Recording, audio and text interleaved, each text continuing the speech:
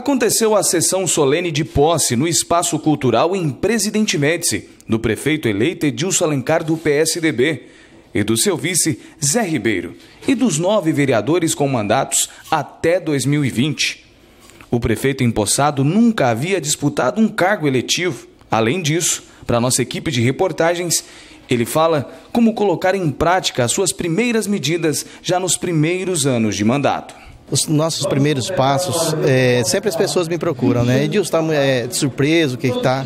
É, nós tem um plano de trabalho eu quero executar eles. O primeiro passo é enxugar a máquina. 100% das portarias são o que a prefeita não exonerou, o Edilson Alencar vai exonerar. Para que eu possa implantar aquele projeto meu do estágio remunerado, para que eu possa fazer um estudo para um, um concurso Médici é preciso fazer um concurso. Mas como que eu vou fazer um concurso se na educação tem 200, mais de 200 servidores concursados, 1.700 alunos?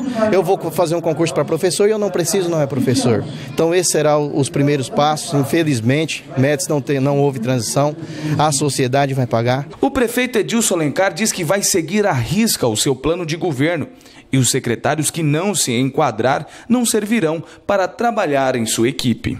Os meus secretariados que iria apresentar aqui hoje, eles têm 90 dias para mostrar resultado. Não mostrou, não serve. E eu conto com o legislativo, são pessoas que moram no meu coração. Eu tenho certeza, tenho certeza que a sociedade vai ganhar muito. Nós vamos sofrer agora no início, mas nós iremos deixar o nosso nome escrito na história de presidente Médici. Como é de praxe em toda a posse, o prefeito anterior vem para passar a chave da prefeitura simbolicamente para o prefeito que vai assumir, mas no município de Presidente Médici isso não aconteceu. A prefeita Lurdinha do PT não compareceu para dar posse, como normalmente acontece em se tratando de políticos dotados de espírito democrático, ético e decente, causando comentários e lamentos por parte dos presentes no evento. Aliás, muitas pessoas presentes comentavam que a atitude da prefeita assinala o final de sua carreira política. Outro episódio que chamou a atenção do público que estava presente na solenidade foi a acirrada disputa pela mesa diretora no primeiro biênio.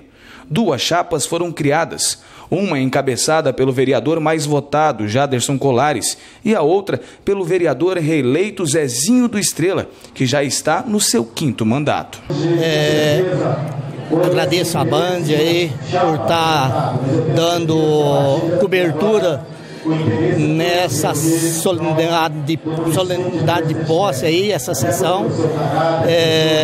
Estou é, muito contente da gente, a população do município da gente confiou eleger a gente para representar a população pela quinta vez e também e ter essa oportunidade nesse quinto mandato, que era um sonho, era um sonho do vereador Zezinho da Estrela, é, um dia presidir o Poder Legislativo de Presidente Médici.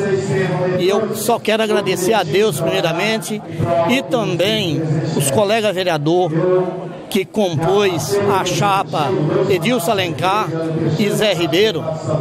E os, esses vereadores é, me, de, me, deram essa oportunidade, Alecrim, me deram essa oportunidade de, de dirigir o Poder Legislativo. Então, isso para mim foi um sonho que eu sonhava e hoje está acontecendo na realidade. Então, só tem que agradecer o povo, a Deus e o povo que, mais uma vez, confiaram no vereador Zezinho do Estrela para representar, deram essa procuração para o Zezinho do Estrela representar vocês por mais quatro anos e essa procuração população do meu município, que é Presidente Médici, pode acreditar.